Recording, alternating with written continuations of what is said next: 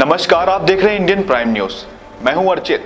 बताते चले कि दोपेड़ी गाँव में निकाह की खुशी में हो रही पार्टी के दौरान दूल्हे के चाचा भतीजे में किसी युवक के रिश्ते को लेकर झगड़े के कारणवश मृत्यु हो गई।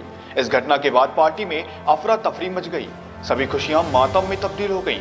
गुस्साए परिजन मृतक के शव को लेकर असंध थाना पहुँच गए, जहाँ पुलिस ने परिजनों को समझाकर शव को असंध के पोस्टमार्टम हाउस में रखवा दिया है।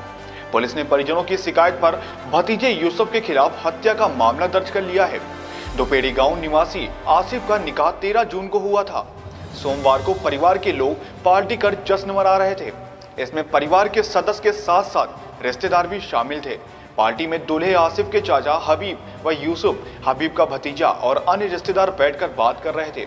इसी दौरान एक युवक के रिश्ते की बात को लेकर चाचा हबीब व भतीजे यूसुफ में बहस हो गई और ये मारपीट में बदल गई।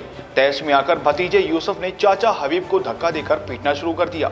इस दौरान रिश्तेदार ने बीच बचाव किया, लेकिन यूसुफ बेहोश हो गया। रिश्तेदार उसे बेहोशी की हालत में डॉक्टर के पास ले गए तो डॉक्टर ने उसे मृत घोषित कर दिया। इसके बाद आक्रोशित परिजन मृतक का शव गाड़ी में रखकर सीधे आसंद थाना पहुँच गए। वहाँ पुलिस ने शिकायत ले ली है। शव के आसंद के पोस्टमार्टम हाउस में रखवा दिया गया है। फ़िलहाल मौत के सही कारण का पता नहीं चला है। गाँव दोपेड़ी निवासी अनीश ने शिकायत दी है कि उसके पिता हबीब की यूसुफ ने हत्या कर दी है। फ़िलहाल शिकायत के आधार पर हत्या का मामला दर्ज कर लिया गया है।